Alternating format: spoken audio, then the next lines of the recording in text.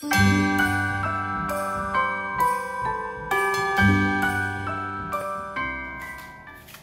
Vlogmas everyone, my name is Maha and I'm on a weight loss journey. And yeah, you guys all know what's coming up very soon, that's uh, Christmas dinner. And usually that means a lot of cheating. But in order to stay on keto and stay on track, I figured maybe I'd share this recipe with you today. So it's gonna be one of the appetizers and it's gonna be mushroom and cheese. What's better than that? All right, so let's jump right in. Basically, I have a pound of mushrooms that I have cleaned and destuffed.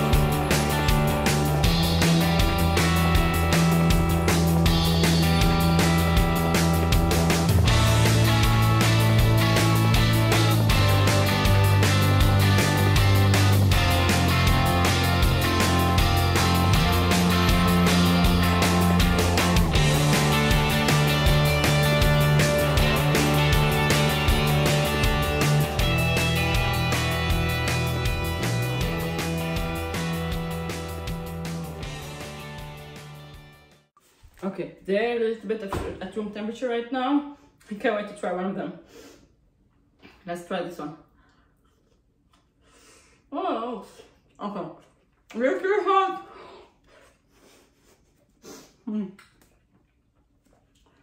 Oh my god, that's delicious. Okay, I love everything garlic and cheese and parsley. And on mushroom, I got the macros on the screen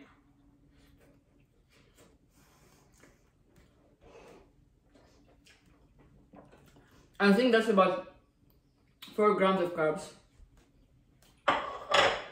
Okay, I think that 5 pieces of this is 4 grams of carbs and 250 calories or something like that. I'll put the macros.